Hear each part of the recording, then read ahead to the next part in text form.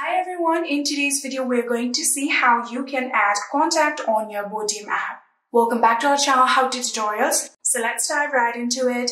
So the first thing that you have to do is make sure that contacts are allowed on your Botim app for which you can simply open your settings and on your settings you can scroll all the way down and tap on apps. So after doing that here you can search for Botim. Here you can see Botim so tap on it and then here you can see the option of contacts. So if you tap on contacts here you can see currently it is full access.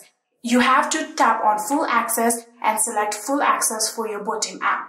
So after making sure that you have full access, you can now go back and open the application.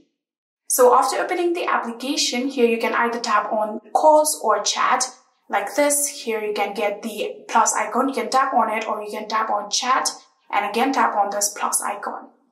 So after doing that, here you can see all of your contacts will open so here you can see not all of my contacts has been opened. So the only contact that has registered to Botim is opened.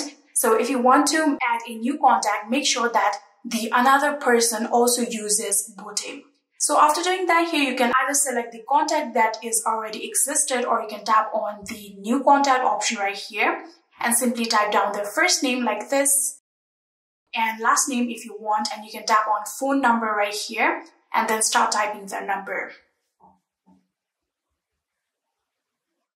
So after typing down their number, you can simply just tap on save. And now the contact will successfully be saved on your Botim app if they have registered. Here I'm going to type down the name that I already received. So here you can see my contact is not shown and has not been saved because the person does not use Botim app.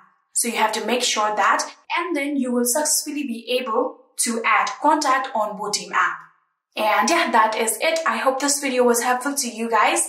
If it was, please do not forget to hit that subscribe button and like our video. Thank you so much for watching. See you in the next.